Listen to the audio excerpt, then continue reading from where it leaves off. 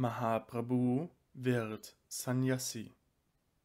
Chaitanya Bhagavata Madhya Kanta 25 Eines Tages, während das Sankirtan in Srivasas Haus vor sich geht, stirbt in Gegenwart der Frau des Hauses der Sohn von Srivas. Während der Sohn der Saji tanzt, hört Srivas, dass im Innersten des Hauses geweint wird. Schnell geht er hinein und sieht, dass sein Sohn einer Krankheit erlegen ist und tot daliegt. Shrivas ist ein ganz großer Bhakta, ein Wisser der tiefen Dinge. Er ermutigt die Frauen und sagt, Ihr kennt doch alle die Größe Krishnas. Beherrscht euer Weinen, beruhigt euer Gemüt, Wer im Augenblick des Sterbens Krishnas Namen hört, der geht in sein Reich, auch wenn er ein noch so großer Sünder ist. Und hier, der Herr selbst tanzt, und Brahma und seine anderen Diener singen herrlich im Kirtan. Und in diesem Augenblick starb er. Es ziemt sich nicht, ihn zu betrauern. O, Wer hat wohl ein solch gutes Geschick wie dieser Knabe? Wie glücklich würde ich mich schätzen, wenn das mir geschehe. Schweigt über das Vorgefallene, hört auf zu weinen, damit die Freude des Tanzens bei Brabo ja nicht gestört werde. Wenn Brabo wieder im Bewusstsein der Außenwelt ist, dann werde ich das Kind zur Ganga, zum Verbrennungsplatz bringen. Auf Srivasas Worte hin werden alle still und gefasst. Und er geht wieder dorthin, wo der Herr im Kirtan tanzt. Und auch Srivas tut Kirtan im höchsten Ananda und seine Begeisterung wächst und wächst. So groß ist Srivas. Das ist die Größe der ewigen Begleiter des Chaitanya, Gaura Chandra tanzt im Ananda des Erlebens seines Selbst. Nach einer Weile klingt der Tanz ab. Die Bhaktas hören einer vom anderen, dass Srivases Sohn gestorben ist. Sie alle sind im Herzen traurig, doch drücken sie äußerlich nichts von ihrem Gram aus. Doch Gora Sundara ist der Allwissende, er ist der innere Zeuge, weiß, was in den Herzen aller vorgeht und fragt. Mir ist so seltsam zumut, als ob irgendein Leid in Shrivas Haus geschehen wäre. Doch Shrivas antwortet, welches Leid könnte ich, o Prabhu, schon haben, denn du bist doch in meinem Hause. Aber die anderen großen Bhaktas sagen schließlich, was geschehen ist. Brabo fragt, verwirrt, wann es geschah und hört, dass Stunden vergangen seien. Dass aber Shrivas nichts sagte, damit sein Ananda nicht gestört würde. Doch wenn er jetzt die Erlaubnis gebe, wollen sie das Notwendige tun. Als er hörte, wie unerhört sich Shrivas benommen hatte, ruft Prabhu, Govinda, Govinda, und sagt zu Shrivas, wie kann ich je solche Gesellschaft verlassen? Und Mahaprabhu weint. Fußnote 447. Hier ist ein Hinweis, dass Prabhu schon plante, ein Sannyasi zu werden. Wie soll ich je die Gemeinschaft derer aufgeben, die aufgrund des Prema zu mir nichts vom Leiden um des eigenen Sohnes willen spüren. Und Mahaprabhu weint sehr, sehr heftig. Und alle fingen an, nachdenklich zu werden. Fortgehen, verzichten, in welch seltsamer Verwirrung ist es ein Versehen seinerseits, und sie alle denken nach. Brabo wird nicht mehr im Hause bleiben, er wird Sanjas nehmen. So sagte er und weint heftig und seufzt. Als der Herr sich beruhigt hat, gehen sie alle zum Bett des toten Sohnes. Und Brabo fragt das tote Kind, Warum gehst du aus Shrivas Haus fort? Das Kind antwortet, Brabo, hat jemand die Kraft, sich dem entgegenzusetzen, was du angeordnet hast? Solange ich in diesem Leibe zu bleiben hatte, habe ich diesen Raser genossen. Die Zeit des Bleibens ist vorbei. Ich kann nicht bleiben. Und ich gehe in einen anderen Leib. Nachdem die Anordnung, in diesem Leibe zu wohnen, aufgehoben ist, darf ich nicht in diesem Leibe bleiben. Nun gib mir die Gnade, dass ich von dir nicht abweiche. Wer ist wessen Vater? Wer ist wessen Sohn? Alle müssen die Frucht ihres eigenen Tuns verzehren. So lange war es mein Schicksal, in Srivasas Haus zu sein. Ich kam hierher. Nun gehe ich in einen anderen Leib. Verehrung dir und all deinen ewigen Begleitern. Nimm mein Vergehen nicht an. Ich gehe fort mit deiner Erlaubnis. Dann wurde der Leib des toten Kindes still. Die Bhaktas, die seine Worte gehört hatten, waren im Meer des Ananda, und alles Leid verschwand in den Herzen der Familie des Shrivas. Ja, sie wurden unstet in der Freude des Ananda, des Prema zu Krishna. Und sie fallen zu Füßen Brabus und rufen, Du bist Vater, Mutter, Sohn, in jeder unserer Geburten. Mögen wir von den Lotussen deiner Füße nie abweichen.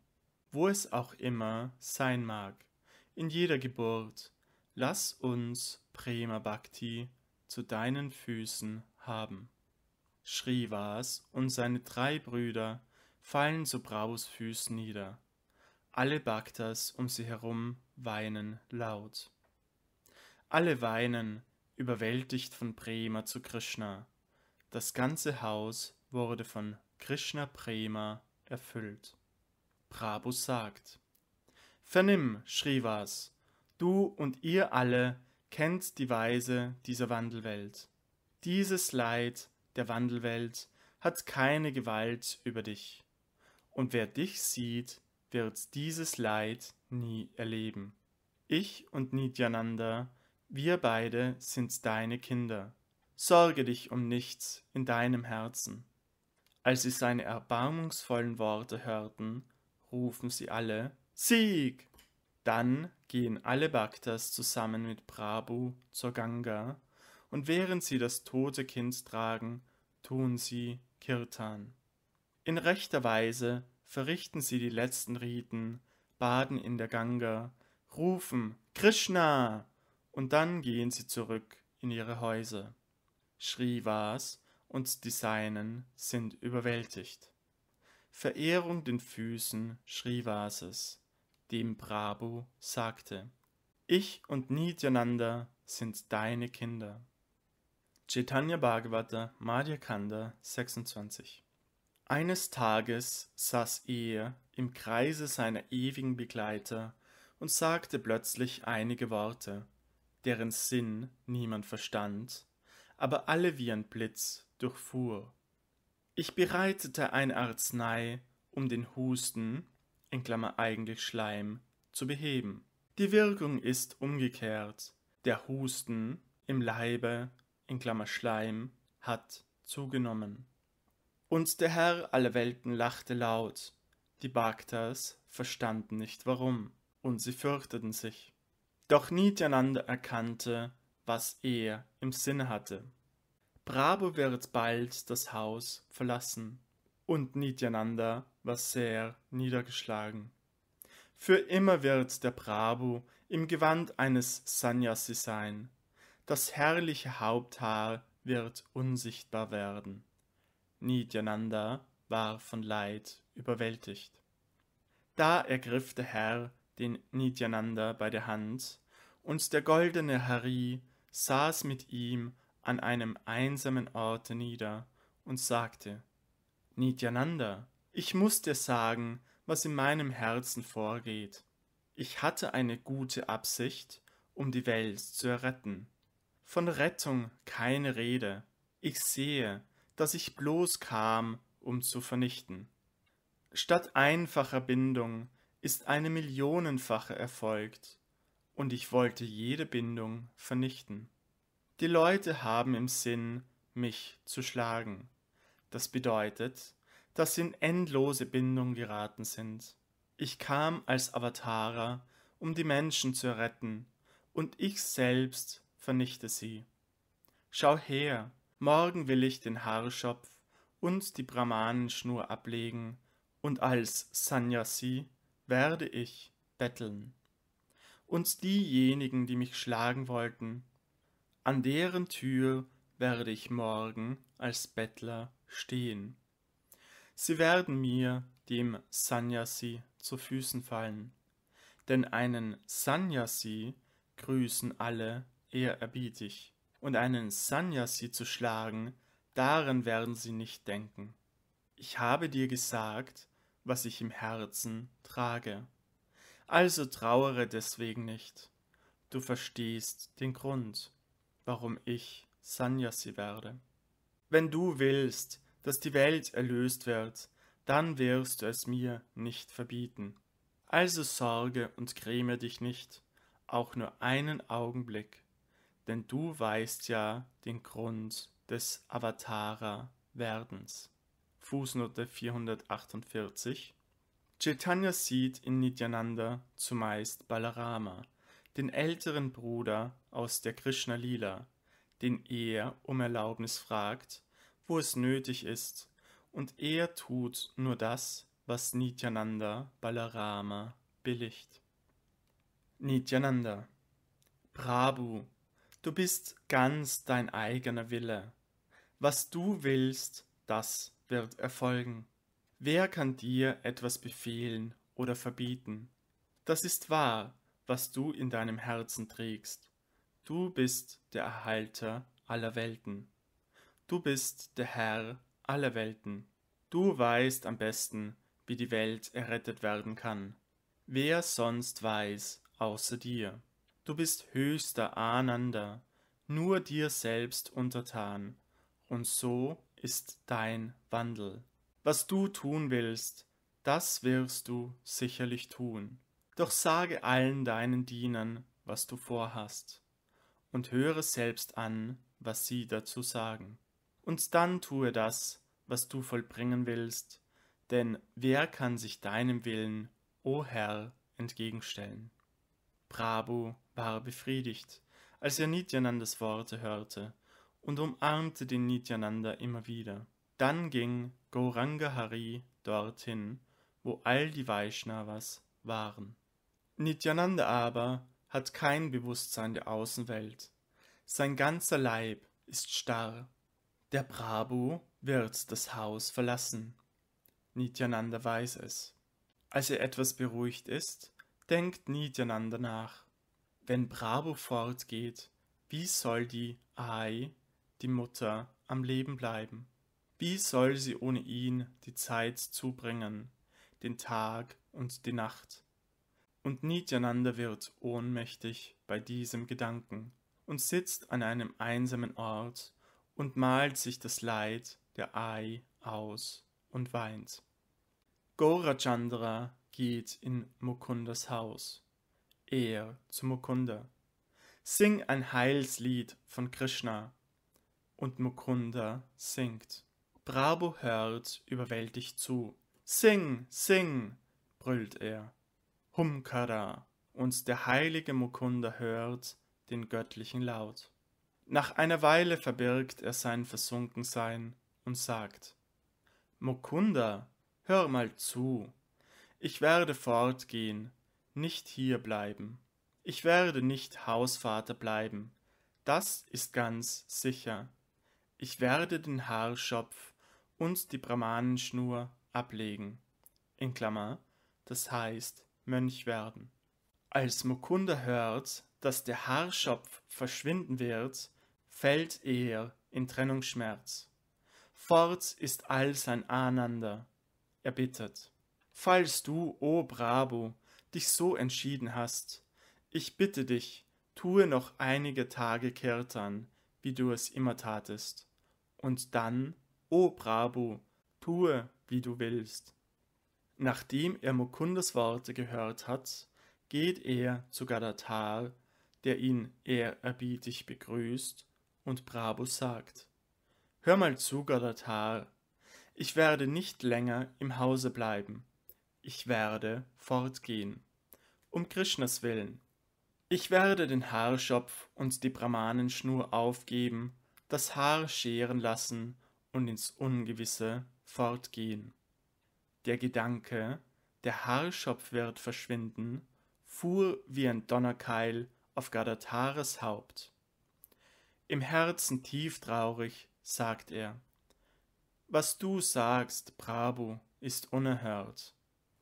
Heißt es, man muss Haarschopf und Brahmanenschnur ablegen, wenn man zu Krishna kommen will? Ist es deine Meinung, dass ein Hausvater kein Bhakta sein kann? Wozu das? Den Kopf rasieren lassen. Es mag deine Meinung sein, doch es ist nicht die Meinung der Veden. Willst du, die Herrenlose, die Mutter verlassen? Als erstes wird dein Tun bedeuten, Du lädst die Schuld, die Mutter zu töten, auf dich. Wie kann sie ohne dich am Leben bleiben? Du allein bist ihr übrig geblieben. Du bist ihr Leben. Kann man denn Gott nicht erfreuen, wenn man im Hause bleibt? Ein Hausvater ist allen Menschen teuer und lieb, doch wenn du trotz allem den Kopf scheren willst und dadurch glücklich wirst, dann tue, was du willst, und geh fort. Fußnote 449 Es ist im Allgemeinen nicht der Sinn des vedischen Gebots, dass ein noch junger Mensch das Haus verlässt und ein schweifender Mönch wird.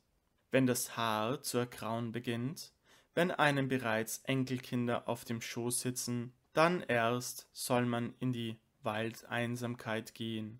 So wird geboten. Der Untergrund der Worte Gadatars aber ist, er im Bewusstsein Radhas zürnt mit Krishna, der fortgehen will. So geht Prabhu von einem Bhakta zum anderen und sagt ihnen, dass er Haarschopf und Schnur ablegen will. Und sie alle weinen und versinken in den Ozean des Leids. Chaitanya Bhagavata Madhya Kanta 26 Und niemand mag mehr essen oder an sich selbst denken. Doch Brabo kann das Leid seiner Diener nicht ertragen, und gütig ermutigt er sie, als sie beisammen sind. Warum sorgt ihr euch? Wo ihr seid, bin ich immer da. Ich werde euch auch nicht einen Augenblick lang im Stich lassen. Fußnote 451. Der geheime Sinn von Chaitanyas Worten ist auch, dass er und seine ewigen Begleiter in dem immer da und überall seienden Erkenntnisreich Goloka Vaikunta, unbeschadet der Lila, die sich auf Erden begibt, immer beisammen sind. Von Geburt gar nicht zu reden, in jedem Leben werden wir beisammen sein. Um die Welt zu lehren, werde ich ein Mönch. Also, gebt alle Sorgen auf. Brabus Worte beruhigten die Baktas ein wenig. Darauf ging er nach Hause. Alle diese Dinge kommen der Mutter Saji nach und nach zu Ohren, und das Leben bleibt nicht in ihrem Leib. Als sie hörte, dass Prabhu Sanyas nehmen will, entstand solches Leid in ihr, der Mutter der Welt, dass sie nicht wusste, wo sie war. Sie fiel ohnmächtig zu Boden, immer von neuem. Ströme von Tränen, sie kann sie nicht zurückhalten. Und sie geht zu Prabhu, dem Lotusäugigen hin, und weinend sagt sie, Gehe nicht fort, oh, gehe nicht fort, lass die Mutter nicht allein, die armseligste. Nur wenn ich dein heiliges Gesicht anschaue, bin ich am Leben. Dein mondgleiches Gesicht. Wie soll ich leben ohne diesen Anblick? Deine Gefährten sind doch da, Advaita und Shrivas, und Nityananda ist da, deine Lebenskraft. Und deine besten Freunde sind hier, wie Gadatara und die anderen. O bleibe im Hause und tue im Hause Sankirtan. Was religiöse Pflicht, in Klammer Dharma, ist, das zu lehren, ist doch der Sinn deines Avatare-Werdens. Die Mutter verlassen, ist das Dharma? Du bestehst doch ganz aus Dharma. Wenn du die Mutter im Stich lässt, wie willst du dann der Welt verständlich machen, was Dharma ist? Saji spricht im Gram des Prema und Vishwambara lauscht. Und in Prema schnürt sich seine Kehle zusammen und er kann nicht sprechen. Und sie sagt, Dein älterer Bruder hat mich verlassen und ist fortgegangen. Dein Vater ist nach Vaikunta gegangen. Wenn ich dich sehe, ist alles Leid entschwunden. Du gehst fort, und auch ich will meine Lebenskraft aufgeben. Du bist Gauranga, die Goldgestalt meines Lebens. Die Herrenlose allein zu lassen, tut nicht gut. Freue dich mit allen zusammen und tue Sankirtan im eigenen Hause. Nityananda ist ja hier, dein Freund und Helfer. Deine beiden Augen, ganz und gar Prema, die beiden langen Arme, der Nektarregen deiner Worte. Auch ohne Licht leuchtet mein Haus vom Glanz deiner Gestalt. Und so klagt die Mutter Sachi im Kram des Prema.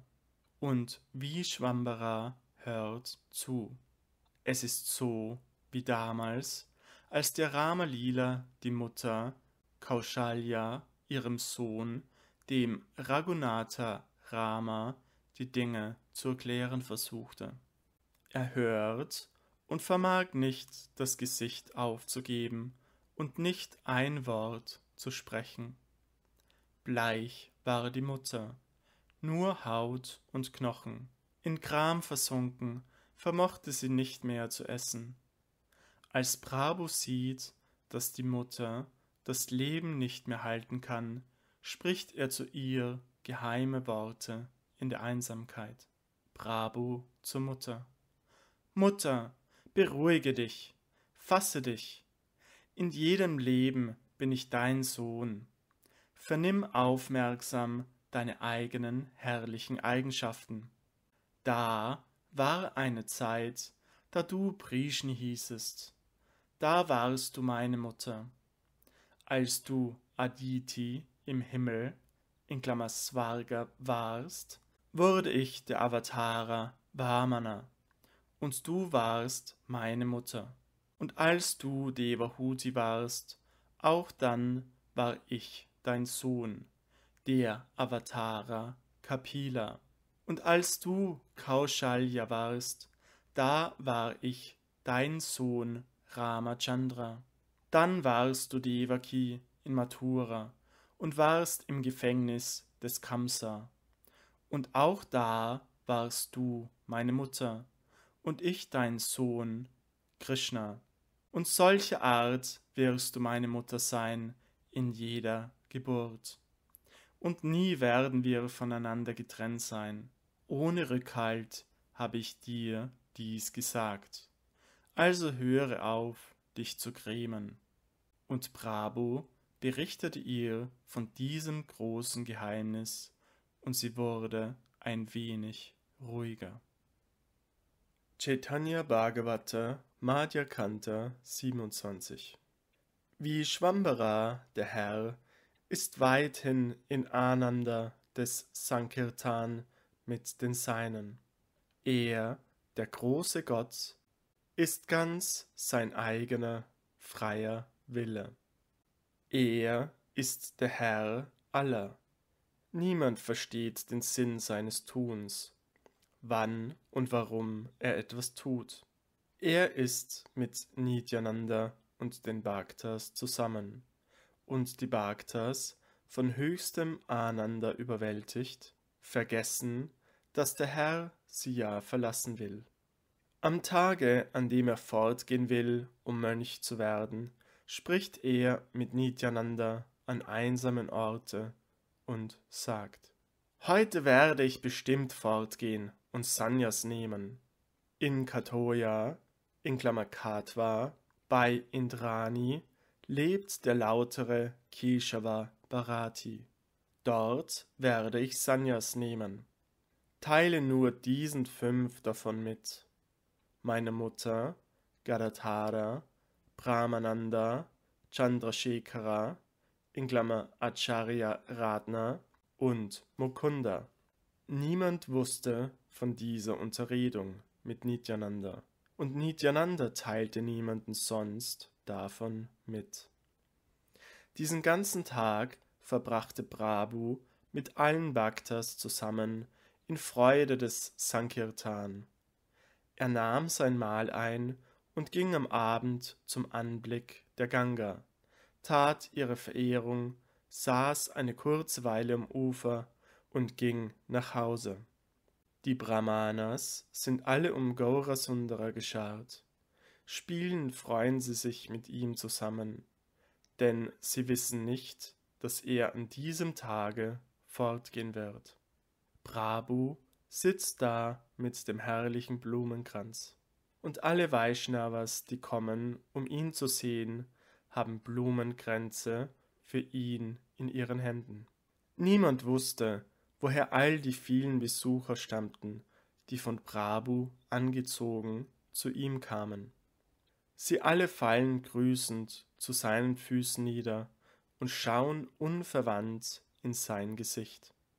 Und Prabhu selbst gibt jeden einen Blumenkranz von seinem Nacken und sagt, Singe Krishna, sage Krishna, liebe verehrend Krishna, singe Krishnas Namen und denke an nichts anderes als an Krishna. Wenn ihr zu mir etwas Zuneigung habt, dann singt nichts außer Krishna. Liegend, essend, wachend, Tag und Nacht, denkt an Krishna, sprecht von Krishna, und er schenkt allen seinen heilsverheißenden Blick, unterweist sie und schickt sie nach Hause.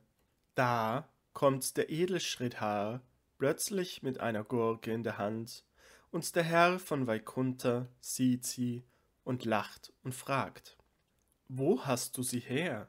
Er weiß ja. Am Morgen werde ich das Haus verlassen, doch die Gurke muss ich noch essen, denn Schritthaar brachte sie. Und so nachdenkend aus elterlicher Liebe, in Klammer Vatsalya, zu dem Bhakta, gab er sie seine Mutter zum Kochen. Als gerade noch eine andere glückselige Seele kam, die Milch zum Geschenk brachte. Der Herr lacht und sagt, Gut, da kann ja Gurke und Milch zusammen gekocht werden. Und Sachi kocht. Und das geschah in der ersten Hälfte der Nacht. Dann verabschiedete er alle und aß, wusch sich den Mund und ging in das Ruhezimmer, wo sein Bett war. Er warf seinen Blick der Yoga Nidra in Klammer der Göttin Schlaf zu. Bei ihm ruhten Haridas und Gadadhara, die Mutter aber denkt daran, dass er heute fortgehen wird, wacht und weint. Der Herr weiß, dass das Ende der Nacht herangekommen ist und steht auf, um fortzugehen. Haridas springt auf. Haridas springt auf und sagt, Ich will mitgehen. Prabhu entgegnet, Niemand kann mitgehen. Der eine Zweitlose, in Klammer Eka Advaitika, allein, ist mit mir zusammen. Fußnote 453 Der eine Zweitlose ist Bhagavan, auf der die Vielfalt alles anderen beruht. Die Ai weiß, dass er fortgehen wird, und sitzt vor der Tür. Prabhu sieht sie, erfasst ihre Hand und ermutigt sie. In Klammer wörtlich erleuchtet sie. Du hast alles getan und mich immer dar behütet. Alles verdanke ich dir. Du selbst hast keinen Augenblick Lebensgenuss gehabt. Von meiner Geburt an warst du nur um mein Wohl besorgt. Die Liebe, die du mir von Stunde zu Stunde erwiesen hast, kann ich in Millionen von Weltenläufen nicht vergelten. Deine eigene Güte ist die einzige Belohnung dafür. Von Geburt zu Geburt werde ich dein Schuldner bleiben. Vernimm, Mutter, diese Wandelwelt ist dem Herrn untertan. Niemand ist frei zu tun, was er will. Vereinigung, Trennung, alles ist sein Wille. Niemand kann seinen Willen verstehen. In zehn Tagen ungefähr werde ich zurückkommen. Wenn ich auch jetzt fortgehe, sorge dich nicht. In Dingen, wie sie in der Welt geschehen, und im höchsten, immer bin ich dein. Doch alles geschieht um meinetwillen, alle Verantwortung ruht auf mir. Und Prabhu legt seine Hand auf seine Brust und sagt, alle deine Verantwortung und Last ist die meine. Die Mutter hört alles, was er sagt, doch sagt sie nichts. Sie weint mit matten Augen. Sachi, die Mutter der Welt, wurde das Wesen der Erde, in Klammer still ertragend. Wer versteht die unausdenkbare Lila Krishnas? Prabhu nimmt den Staub von den Lotusen der Füße seiner Mutter auf sein Haupt, umwandelt sie, so dass sie zu seiner Rechten verbleibt, und geht schnell fort. Fort ging er, der Herr und Held von Vaikunta, fort aus dem Hause, um Sanyas zu nehmen und alle Jivas zu erretten. Hört zu, hört zu, ihr Brüder. Wer von Prabhus Sanyas hört, dessen Bande gehen alle fort. Prabhu war fortgegangen. Sachi, die Mutter der Welt, wurde wie leblos, nichts leuchtete ihr auf. Die Bhaktas wussten von nichts. Beim Morgengrauen gingen sie zum Baden in der Ganga und kamen zu seinem Haus, um Prabhu verehrend zu grüßen. Und sie sehen, die Ai sitzt draußen vor der Tür des Hauses. Shrivas war der Erste, der etwas sagte. Mutter, warum vor der Tür? Ununterbrochen strömen Tränen aus ihren Augen. Nach einer Weile sagt sie, Hört ihr alle, die Dinge, die dem Vishnu gehören, gehören allen Vaishnavas. Alles, was sein ist, ist euer. So sagen die Shastras. Also nehmt alle, was ihr begehrt. Ich gehe fort. Die Bhaktas fallen leblos zu Boden, als sie hören, dass Prabhu fortgegangen war. Sie weinten in schrecklicher Hilflosigkeit, fielen einander um den Hals und klagten. Sie weinen, werden bewusstlos, rufen wild, laut, Hari! Mit der Hand schlagen sie auf ihre Stirn, mit der Hand auf ihre Brust. Er ging fort und sagte uns nichts davon. Sie weinen und rollen im Staub am Boden. So unerhört war ihr lauteres Weinen. Die Leute der Stadt kamen eilends herbei. Sie können Brabus Antlitz nicht mehr schauen. Alte, junge, Männer, Frauen, sie alle weinen. Und die Nachricht verbreitete sich schnell in der ganzen Stadt Navadvip, dass er das Haus verlassen hatte, um Sanyas zu nehmen. Und alle waren erstaunt und liefen zu Brabus Haus und sehen, es ist leer. Und sie weinen. Die Stadtleute rufen, O weh! Selbst die bösen Lästerer wurden traurig. O, wir Ärgsten der Sünder! Wir erkannten nicht, wer Nima ist. und sie bereuten und weinen. Gaura Sundara durchkreuzte die Ganga und erreichte am selben Tage Kantaka Nagar. Und die fünf, denen er von seinem Plane gesagt hatte, treffen einer nach dem anderen bei ihm ein. Wie ein trunkener Löwe kam er mit den Seinen dorthin, wo Keshava Bharati weilte. Und der edle Keshava Bharati erhob sich sofort, als er die unerhörte Gestalt und das Leuchten seines Leibes sah. Prabhu wirft sich zu seinen Füßen nieder, preist ihn mit gefalteten Händen. Erweise mir ergreifende Gnade, o Edler, du bist gnadenreich, Retter der Gefallenen. Du bist es, der Krishna, den Herrn der Lebenskraft geben kann, denn Krishna Chandra ist immer bei dir.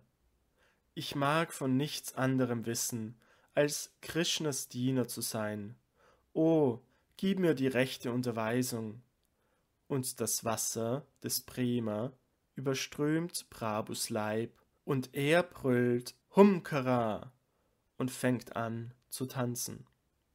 Mukunda und die anderen Bhaktas fingen an zu singen, und der Sohn der Saji tanzt, trunken in Versenkung in sich selbst. Millionen von Menschen strömen herbei beim Hören dieses Singens und Tanzens. Ich weiß nicht, woher sie alle kamen. Sie sahen Brabus wunderbar schöne Gestalt und konnten den Blick nicht von ihm wenden. Unerhörte Ströme von Tränen stürzten aus Brabus Augen.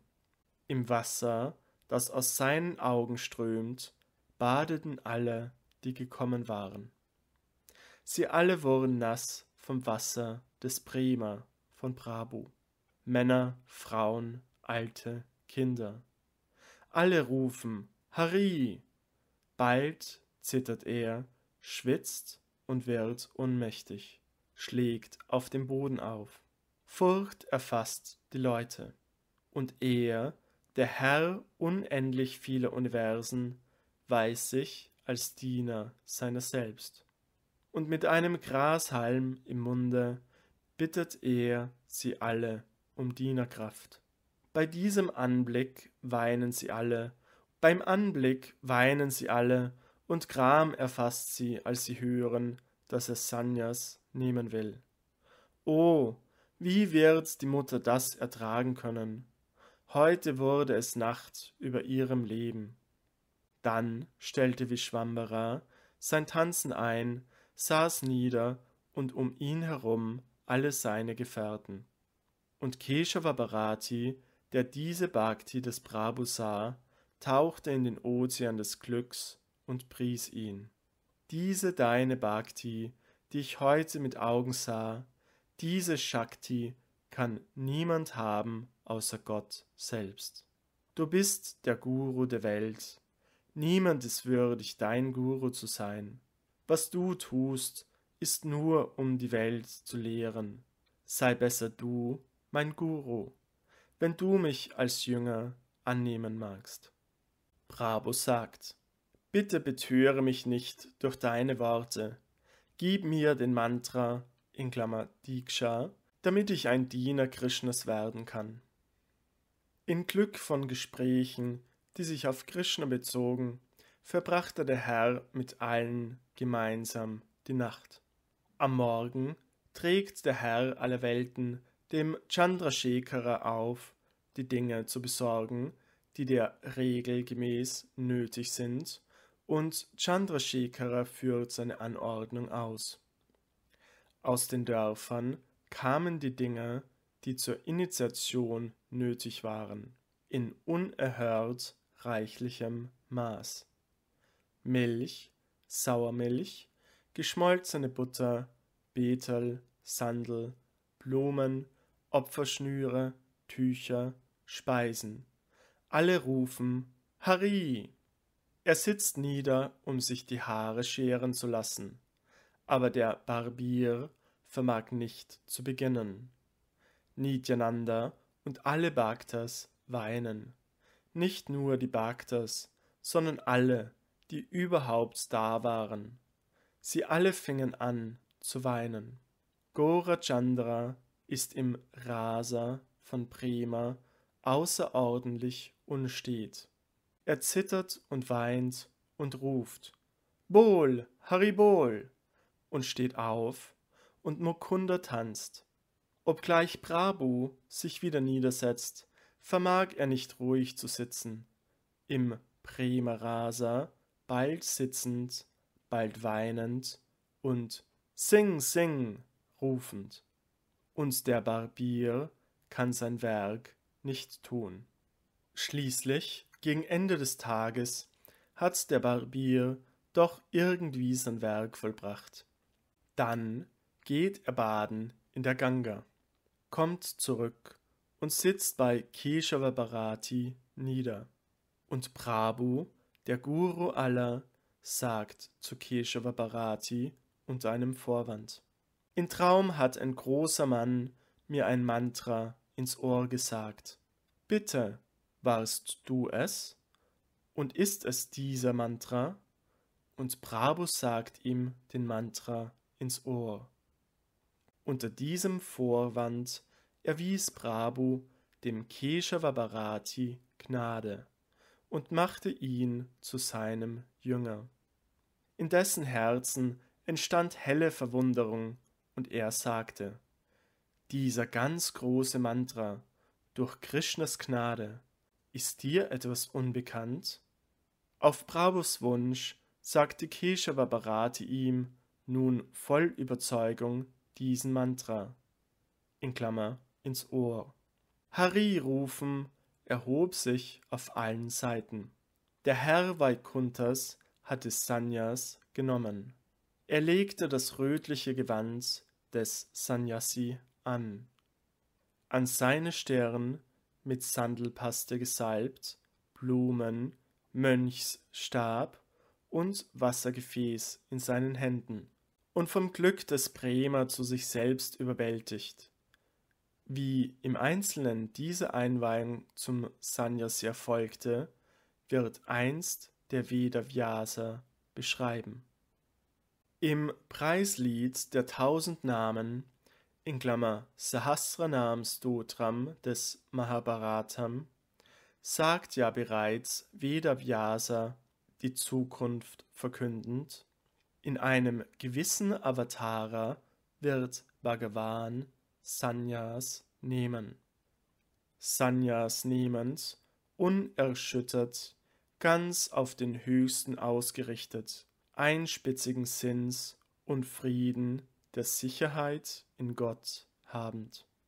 Dann dachte Keshava Bharati darüber nach, welchen Namen er ihm geben solle. Ich habe solch einen Vaishnava noch nie gesehen, und mir kommt kein Name in den Sinn, der mich befriedigt. Der Name Bharati, in Klammer, als dem Jünger eines Bharati, der ihm zu geben ist, passt gar nicht. Und während Keshava Bharati nachdachte, kam der lautere Saraswati, in Klammer, Bhagavans Kraft, welche die göttlichen Geheimnisse in Worte auszudrücken vermag, auf seine Zunge. Und nachdem Bharati, der lauteren Geist hatte, den rechten Namen gefunden hatte, legte er seine Hand auf Prabhus Brust und sagte, Du machst alle Welten Krishna sagen und gibst ihnen Chaitanya, in Klammer, reines Bewusstsein, das Kirtan offenbar machend. Deshalb ist dein Name Krishna Chaitanya.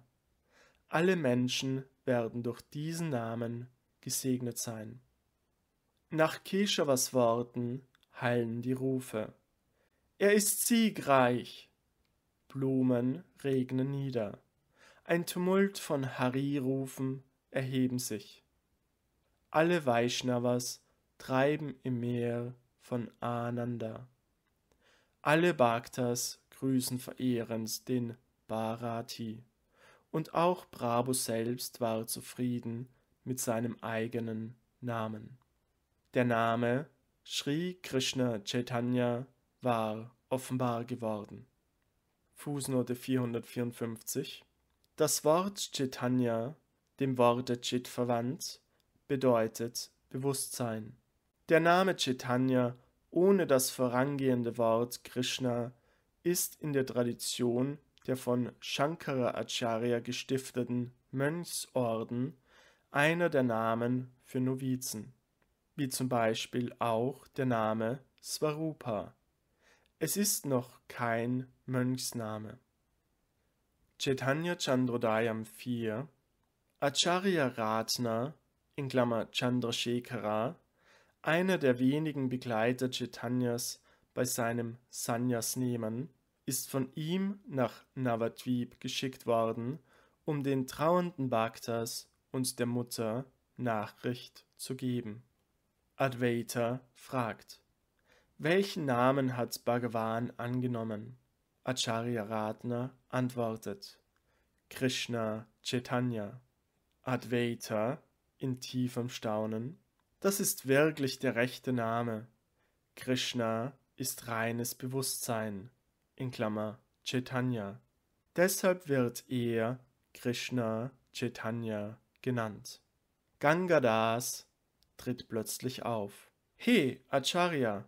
Sachidevi fragt, wie es Bhagavan geht. Acharya Ratna, durch Tränen in seiner Kehle, erstickt. Advaita, sage ihr in meinem Namen, wie Rama in den Wald ging und Krishna nach Mathura, so ist sein Annehmen der Regel des Sanyas. Diese Dreiheit muss von der Mutter Dreiheit ertragen werden. Fußnote 455 Chaitanya wurde Sanyasi zur Zeit des Solstitiums, da die Sonne vom Zeichen des Schützen in das Zeichen des Steinbocks übergeht. In Klammer 1509 nach Christus. Er ist 23 Jahre und 11 Monate alt.